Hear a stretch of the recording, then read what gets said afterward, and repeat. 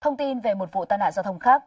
Cho đến dạng sáng ngày hôm nay, lực lượng chức năng thị xã Tân Uyên, tỉnh Bình Dương mới khám nghiệm xong hiện trường vụ tai nạn kép khiến ít nhất 6 người nhập viện cấp cứu.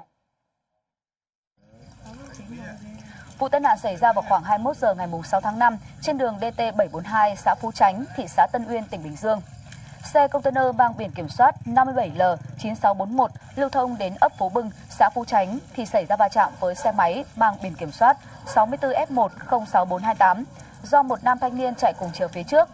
Nam thanh niên và xe máy bị xe container kéo lê về phía trước một đoạn dài và phải nhập viện cấp cứu trong tình trạng nguy kịch ngay sau đó. Trong lúc vụ tai nạn chưa được giải quyết, thì một chiếc xe container khác mang biển kiểm soát 51C 93033 lưu thông cùng chiều với container ban đầu gây tai nạn, chạy ngang qua nhưng không quan sát được phía trước, đã đánh tay lái lao sang làn đường ngược lại. Đúng lúc này, ba xe máy khác đang chạy theo chiều ngược lại không kịp xử lý, đã tông mạnh vào đầu xe container. Sau cú tông, cả ba xe máy trượt dài về phía trước, làm cho 5 người đi trên 3 xe phải nhập viện cấp cứu trong tình trạng bị thương nặng.